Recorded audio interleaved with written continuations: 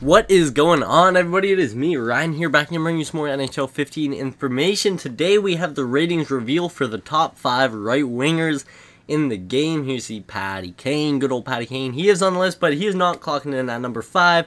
At number five, we have Martin St. Louis playing for the New York Rangers, 88 overall, fifth best right winger in the game. Excuse me.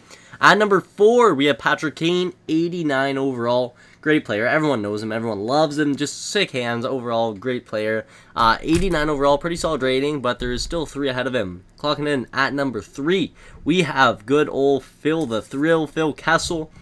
90 overall. There we go. So, top sniper, I think. Uh, well, on the Red Wings at least. So, obviously plays for Toronto. Solid player. 90 overall.